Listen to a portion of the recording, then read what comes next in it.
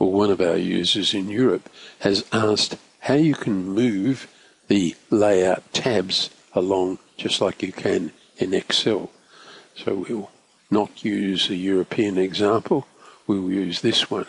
So their request is, can I take the plant schedule tab and move it to the end? Because that's where I like to have it.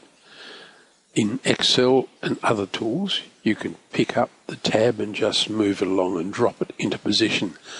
That is something on the gCADPlus wish list to do at some stage in the future.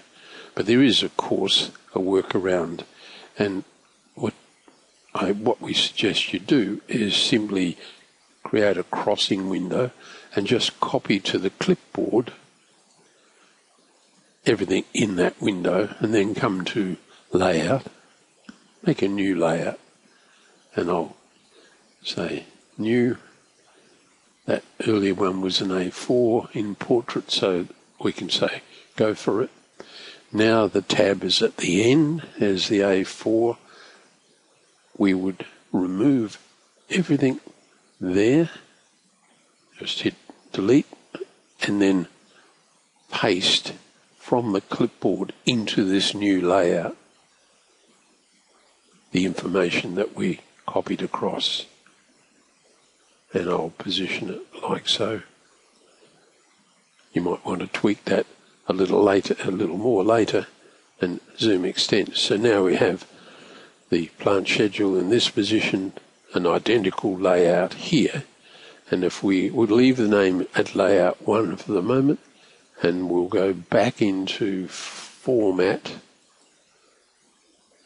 layouts, and we'll just pick this one, which should be, sorry, I'm getting ahead of myself. We go to plant schedule, we simply set a crossing window up again, delete everything in there, then right click on the tab and delete it. So it's now gone, and we can click this one and rename it. Layouts Manager, just call this plant list.